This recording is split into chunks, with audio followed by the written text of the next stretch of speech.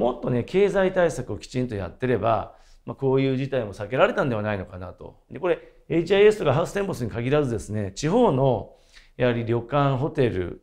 まあこういったテーマパークとかですねどこも厳しくてですねこれまあ同じようなことがどんどん起きてくるんじゃないのかなとこの感染症法の見直しであるとか経済政策のですね見直しっていうことはここで改めて言っておきたい。